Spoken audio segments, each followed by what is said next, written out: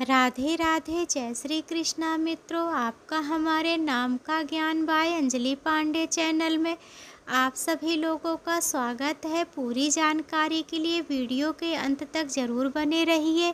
यदि मेरी दी गई जानकारी आप लोगों को अच्छी लगे तो मेरे चैनल को लाइक, सब्सक्राइब, कमेंट ज़रूर करें। साथ ही साथ, आज मैं एक बात आप लोगों से यह पूछना चाहती हूँ कि आप लोग कमेंट बॉक्स में लिखकर ज़रूर बताना। मैं वृंदावन से हूँ। आप लोग कहाँ से हैं? आप जो जो मेरी वीडियो को देख रहे हैं या मुझे सुन रहे हैं, वह ज़रूर बताएँ कि आप लोग कहाँ से हैं। आज मैं बताऊँगी उषा नाम का अर्थ क्या है। उषा नाम का मतलब क्या होता है? उषा नाम की लड़कियों का स्वभाव कैसा होता है? उषा नाम का मतलब होता है भोर, सवेरा, मंगल बेला ब्रह्म नक्षत्र होता है। यह सब हो जाने की वजह से उषा नाम बहुत ही सुंदर हो जाता है।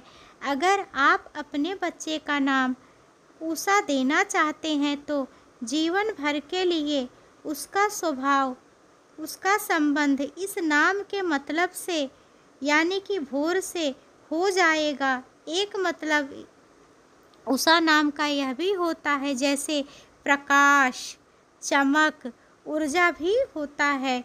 उषा नाम वाली लड़कियाँ अक्सर बुद्धिमान, रचनात्मक और ऊर्जावान होती हैं। आमतौर पर यह दयालु और मददगार भी होती हैं। उषा नाम की जो राशि है, वह वृषभ राशि होगी। इस राशि की महिलाएँ और लड़कियाँ काफ़ी ईमानदार और दिमाग से तेज स्वभाव की होती हैं। वृषभ राशि के जन्मे व्यक्ति को मूल नक्षत्र से जुड़ा माना गया है। यह आम तौर पर स्थिर और धैर्यवान स्वभाव की भी होती हैं। उषा नाम की लड़कियाँ, जैसा कि मैंने बताया, बहुत ही दयालु प्रवृत्ति की होती हैं। साथ ही साथ यह धार्मिक विचारधारा की भी होती हैं। इन्हें शोर शराबा झगड़ा लड़ाई बिल्कुल भी पसंद नहीं होता है।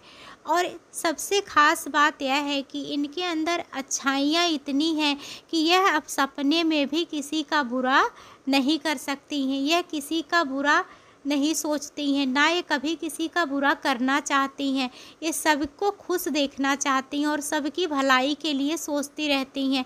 फिर भी इन्हें जस कभी नहीं मिलता है। किसी के साथ कितना भी भला क्यों ना कर दे, पर इन्हें अब जस के अलावा जस कभी नहीं मिल सकता है। और हम बात करें उषा नाम वाली लड़कियों का या वृषभ राशि वाले जातकों का, जो भाग्य उदय होता है। इनका भाग्य उदय तीस या बत्तीस वर्ष के बाद ही होता है, लेकिन उसके बाद का जो इनका समय होता है, वह बहुत ही अच्छा होता है।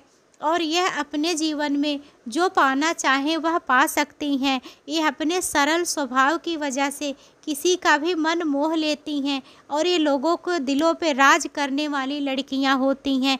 यदि मेरी दी गई जानकारी आप लोगों को अच्छी लगी हो तो मेरे चैनल को लाइक, सब्सक्राइब, कमेंट ज़रूर करें। राधे राधे जय श्री कृष्णा मित्रों।